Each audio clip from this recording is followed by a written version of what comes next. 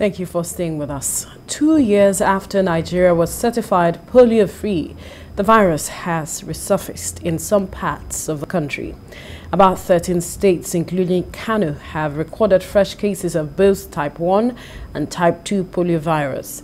Kano appears to be the worst hit, as 106 new cases of the virus has been recorded in 25 out of the 44 local governments of the state. Kano State Commissioner for Health, Dr. Aminu Ibrahim, says the state government is targeting 3.6 million children below the age of 5 for polio vaccination. Well, joining me now from Abuja studio is a public health specialist, Dr. Isaac Egoja. Good morning. Thank you for joining us on TVC Breakfast. Good morning. How are you today? Very well, thank you. I wonder how you feel about this recent development, just two years after we celebrated a milestone with regards to dealing with or totally eradicating poliovirus. We find ourselves in this situation again. Well, it is, uh, the situation is a little bit worrisome because we were very happy, we were excited, we were um, feeling very well, very good as a country that we have been able to eradicate polio. And the new development is, uh, is worrisome and calls for us to do more, especially uh, in view of the methods that we have to use to get rid of this virus. Missed it in the process of trying to ensure that uh, we do not have a resurgence of uh, poliovirus. That opened us up to we seeing it springing up again. Yes. yes. I think what is most important is the fact that we have to not only do campaigns that we, we have done in the past in order to uh, scale up our coverage and scale up our, our immunization process, but to embark on uh, routine immunization and to make sure that every child, every child that is born is vaccinated against polio. If we do this in all our health facilities, in all our, our communities, especially in the states where we have seen a resurgence of the uh, virus now, with time we will be able to come up uh, again with, with uh, a joyful information that we have been able to eradicate polio. But until we're able to do routine immunization as a routine, we will not be able to um, get rid of this uh, virus. We being able to do uh, immunization as a routine that uh, is making us find ourselves here. Yes. yes. What I mean by as a routine is that uh, every health facility especially public health facilities or facilities where uh, they attend to infants, to, to children, and uh, where there is uh, antenatal service, those type of facilities must have vaccines and must vaccinate all children that are born and uh, make sure that they have their records, make sure that we don't have any child that is left out. And the campaign goes everywhere, to the villages, to everywhere, and every child is covered. When we do this, we will be more sure that we have uh, captured everybody and we are in control. But until then, uh, we cannot guarantee that there will be no resurgence in the future. Could, or what do you think could perhaps have been the challenge in a state like Kano, where we see that uh, 25 out of the 44 local governments of the state um, have witnessed or recorded uh, the outbreak of this virus, uh, particularly that state. Uh, is there any peculiarities? Yes. yes. The peculiarity that I think um, we have there is the fact that we have not been able to cover the ground that we thought we covered. If we had been able to cover the ground that we thought we covered, in other words, if we have, have vaccinated every child in Kano, in every local government, in every community, in every village. And the newborns, the newborn babies, are also, as soon as they come into the world, they are also vaccinated against polio. We will not be having the case that, uh, cases that we have now. We, what we thought we, were, we had done, I think, we had not been able to do. We have not been able to sustain the routine immunization, for example. We have not been able to make sure that every child that is born has been vaccinated. We've not been able to, to convince everybody that uh, uh, uh, immunization is very important to be uh, undertaken convincing. It, it, seems that is a major challenge here where we see people have their beliefs. Uh, we see also the aspect of tradition contributing and even religion contributing to, to belief. We also see with regards to even the COVID-19 vaccination, uh, uh people, a lot of people are hesitant and there are those who are outrightly refusing uh, to take the vaccine. How do we deal with this? Well, I'm glad you, you, you mentioned the case of COVID-19 as an example of people's resistance to, to vaccination.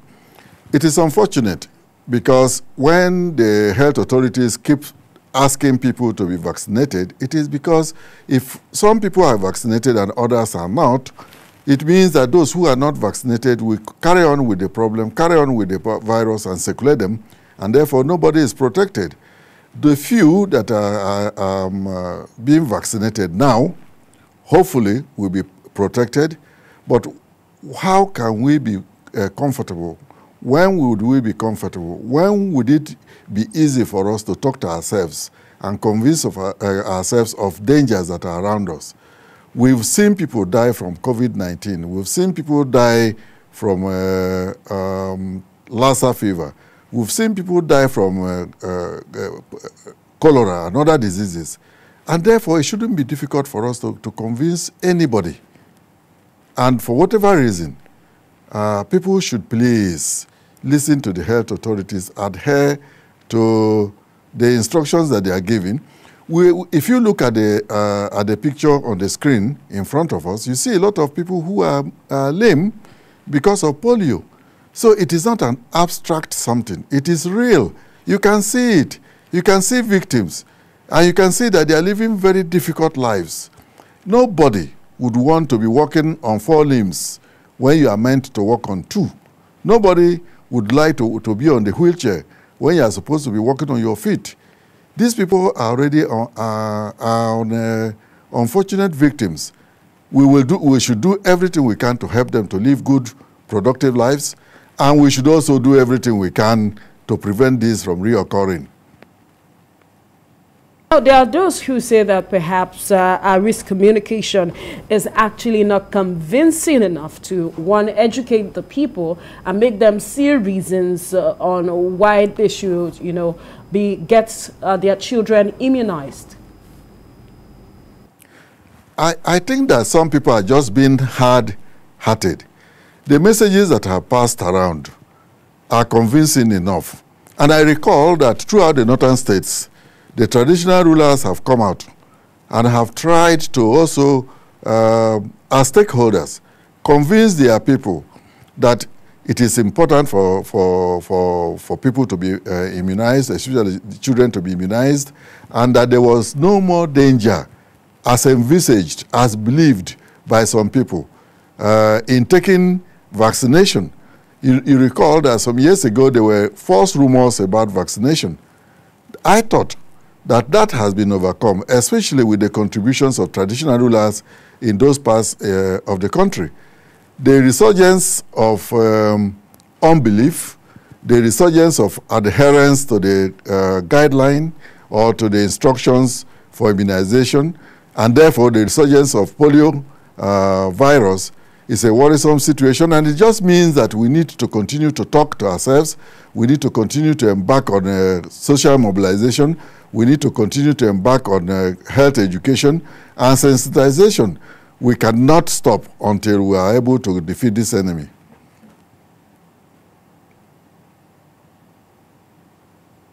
Security might be contributing a challenge to sensitization and everything that you have mentioned. How much of a challenge is that?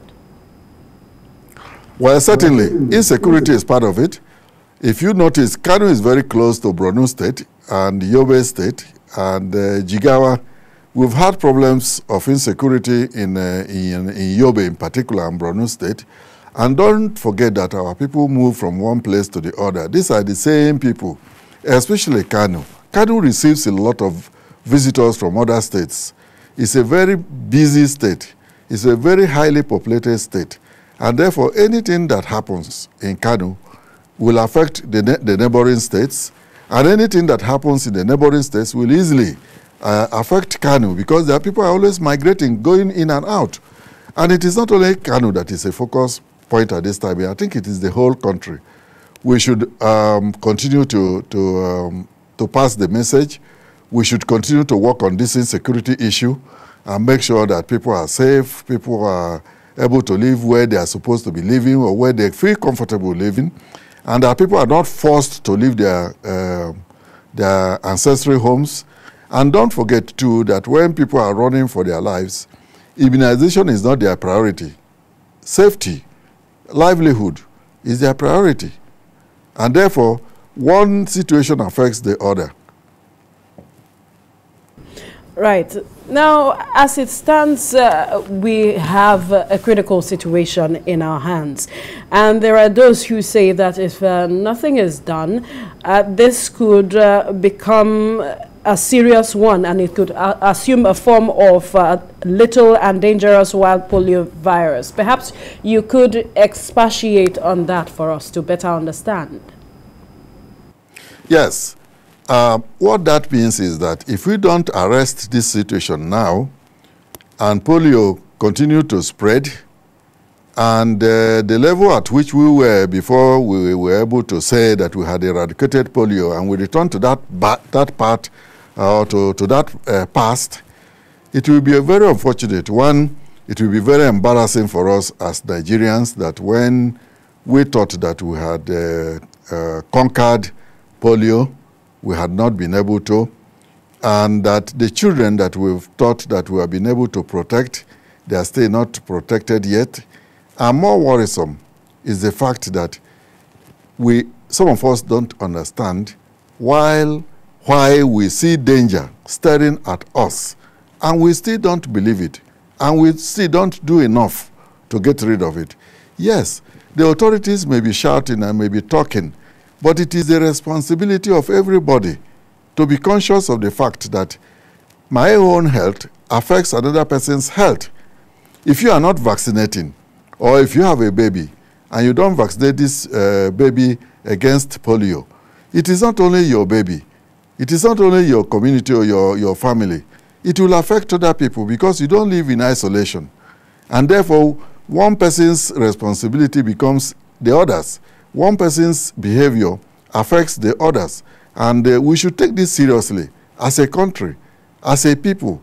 We should not wait until things go, get so bad that uh, we, we start running around and doing what we should be doing to, to save the situation.